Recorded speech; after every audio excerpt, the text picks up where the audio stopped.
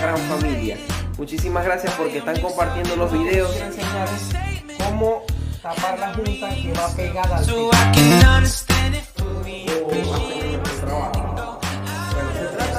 Hola amigos, saludos a todos les quiero mostrar cómo se hacen este tipo de cortes de baldosa. ¿Qué tal mis amigos? Sean todos y todos bienvenidos a un nuevo video en mi canal. Bueno gente, hoy les traigo un video acerca de, de cómo podemos saber si tenemos la piscina de nuestra casa, eh, el tanque de agua o la fuente eh, filtrada. Cuando digo filtrada quiero decir que el agua se le está escapando por alguna parte. Entonces, hoy les quiero mostrar cuál es la causa principal por el cual se filtra.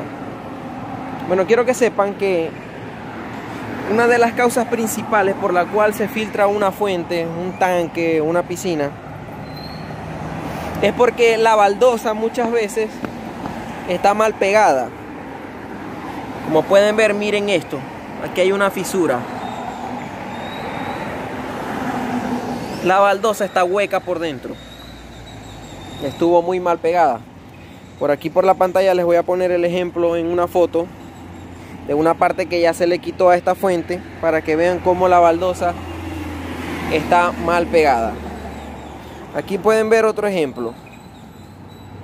Miren esta parte. Ok, mi gente, otra de las causas por la cual se puede filtrar una piscina o una fuente es que al momento de haber sido vaciado el concreto, no se dejó secar, no dejó que el concreto endureciera lo necesario, no se le echó agua previamente antes de, de, ser utilizado como tal. ¿Y qué pasó? Que ese concreto se rajó, se rajó por una parte. ¿Cómo sabemos si el concreto debajo de la baldosa está rajada? Bueno, primero debemos buscar en qué parte la baldosa se siente hueca. Y con eso nosotros vamos, vamos probando con una herramienta y donde suene hueca, esa baldosa tenemos que levantarla y ver si se está filtrando por ahí. Ahora ok, ya nosotros hemos quitado una parte de aquí de esta fuente. Esta fuente tiene un problema de filtración. Miren, como pueden ver, es toda esta parte tenía la baldosa pegada tanto vertical como horizontal. Y ya le hemos encontrado el problema en varias partes. Miren, aquí tiene una grieta enorme y esta grieta sigue hasta abajo y sigue también por la parte de afuera. Esta fuente se, está, se estaba filtrando por esta parte. Aquí tienen otro ejemplo, miren. Otra grieta.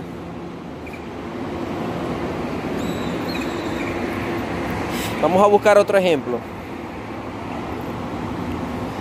¿Cómo nosotros nos dimos cuenta de que precisamente la grieta era por aquí? Miren, aquí hay una grieta. Nos dimos cuenta en la baldosa. Porque miren la baldosa aquí en esta parte. La baldosa está removida. Y entonces nos dimos cuenta que la grieta pasaba por aquí, por todo esto. Y miren. Aquí se puede ver. Vamos a enfocar esto. Aquí se puede ver, miren. Está agrietado. Agrietado, agrietado. Y obviamente por ahí se filtra. Miren. Esto es claramente una baldosa hueca por dentro. Y por supuesto, si por supuesto se, se va a filtrar. Así que encontrar una filtración en una piscina y en una fuente no es tan difícil. Simplemente tenemos que saber buscar. Como ya les expliqué anteriormente, nosotros debemos ir revisando baldosa por baldosa y donde suene hueca, esa baldosa hay que retirarla porque probablemente la baldosa, la pared esté agrietada o el piso de la misma y removió esa baldosa. Así que bueno mi gente, en el siguiente video les voy a estar mostrando cómo reparamos este tipo de grietas, que no es una grieta normal, esto es una grieta un poco más, eh, más complicada, si, se le puede decir así. Así que en el siguiente video les voy a estar mostrando cómo reparamos este tipo de grietas y cómo encontramos y cómo solucionamos el problema para que no se siga filtrando la fuente. Así que el mismo método lo pueden emplear tanto en las fuentes como en las piscinas, en los tanques de agua. Y así que estén atentos porque después de este video les voy a estar mostrando el video de la reparación de la fuente, mi gente. Así que bueno, nos vemos en la próxima. Chao, chao.